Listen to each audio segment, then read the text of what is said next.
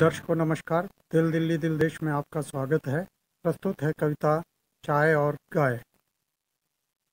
चाय और गाय अगर कविता में आए तो कविता की जात पता चल जाती है। चाय और गाय अगर कविता में आए तो कविता की जात पता चल जाती है। अपनी जात पूछने चाय जाती है गाय के पास।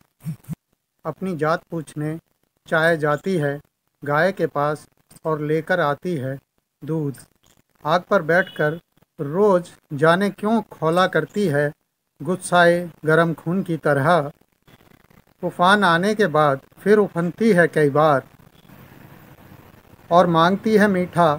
प्याली में जाकर थोड़े दूध के साथ इस तरह रोज़ सज धज कर तैयार होती है चाय न जाने किसके लिए। यह सोचकर अब बहुत से लोग चाय नहीं पीते। उन्हें शक होता है चाय के चरित्र पर। उन्हें शक होता है चाय के चरित्र पर। ऐसे लोगों के लिए कंपनियाँ भर रही हैं गोमूत्र, थोड़ा एलोवेरा डालकर।